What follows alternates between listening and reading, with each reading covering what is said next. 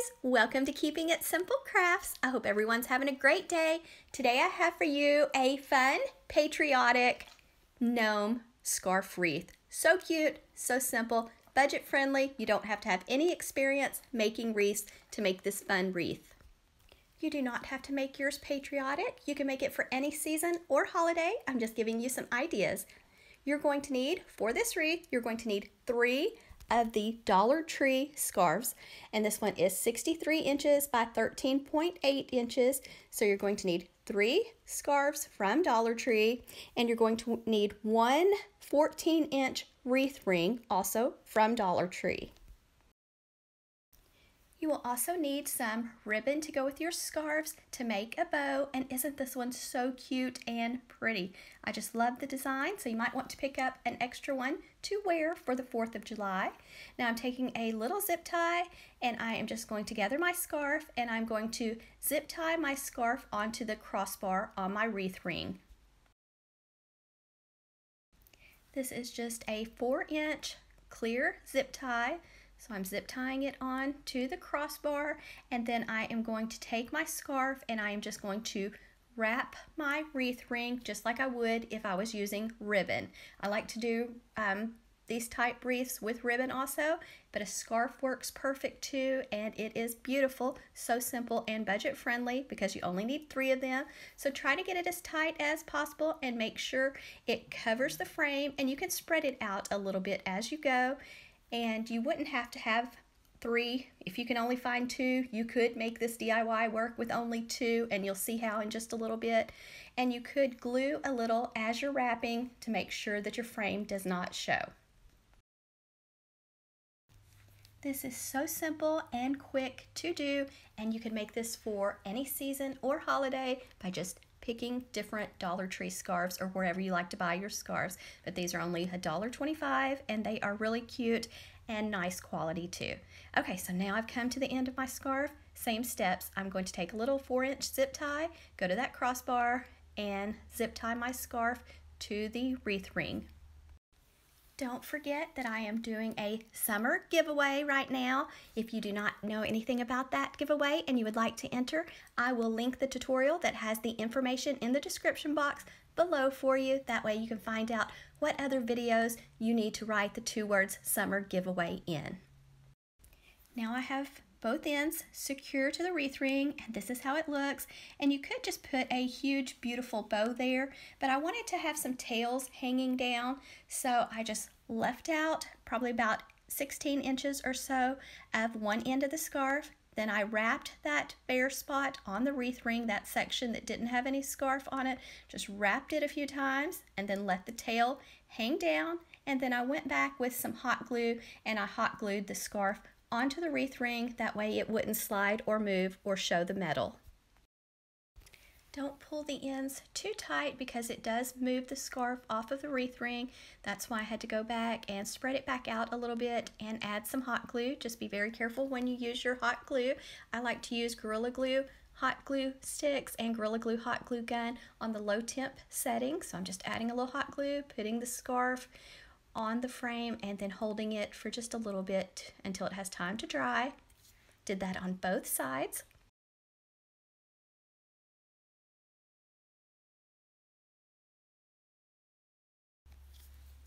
And this is how it looks once it's wrapped and you have the tails hanging down with the two scarves on your wreath ring. Next, we're going to be adding a bow. So gather your scarf and we're just making like a traditional bow. So make a loop.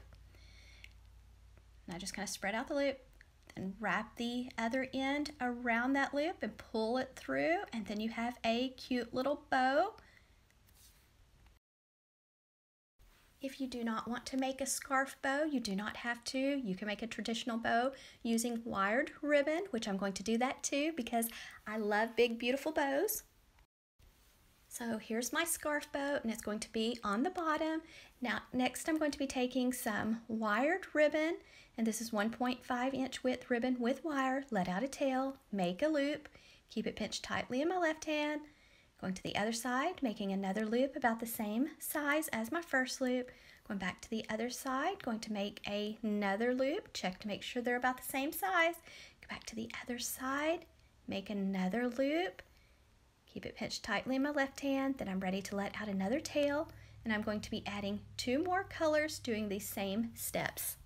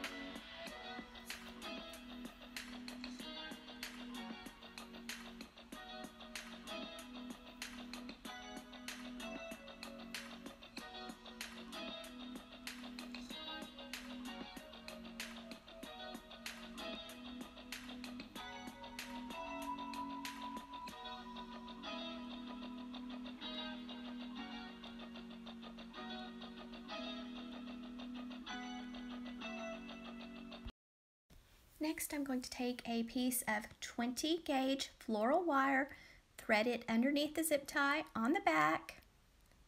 Just be very careful and take your floral wire, thread it underneath the zip tie, and that way we can easily attach our bows together and then attach them to the wreath.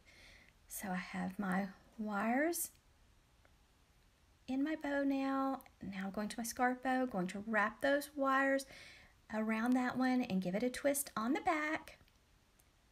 And then after I twist it, I'm going to take my wreath and at the bottom in the center, I'm going to take those wires, wrap it around that wreath ring. And then I'm going to go to the back of the wreath ring, give the wires a few twists and cut them off short and fold them down. And now I have my bow added and it is so pretty. I couldn't decide if I wanted to add a sign or not, so the sign is optional. It's pretty both ways. Are you enjoying watching me make this wreath? If you are, please hit that thumbs up button, leave me a comment, share this tutorial, and if you have not subscribed to my YouTube channel, I would love to have you as a subscriber. It is free to subscribe. And here I'm just fluffing and I'm shaping my bow because it gets flat when you attach it. And I usually have to fluff and shape my bow several times. And then next I'm going to be adding a cute gnome sign that I picked up also at Dollar Tree.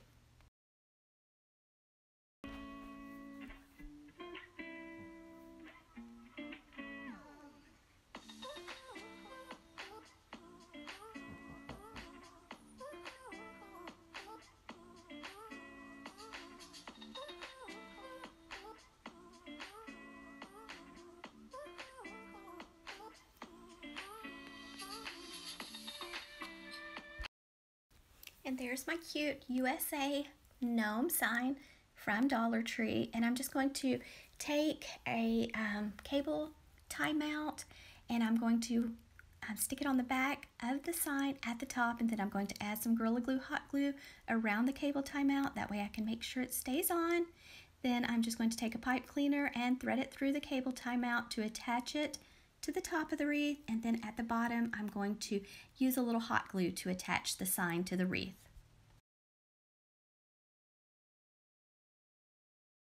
You could use floral wire or just wire instead of the pipe cleaner if you wanted to because I use this pipe cleaner as my hanger for my wreath to hang it on the door also and you'll see how I just twisted it so you could use wire or whatever you're more comfortable using but it's very lightweight so I think the pipe cleaner will hold it and this wreath is going to be kept inside.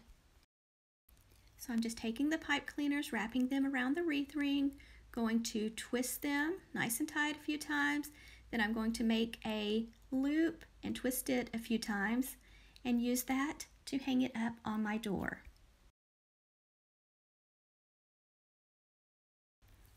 And for the bottom, I just took some hot glue and hot glued on the left side and the right side on the back his little feet to the bottom of the wreath ring. You'll see in just a second.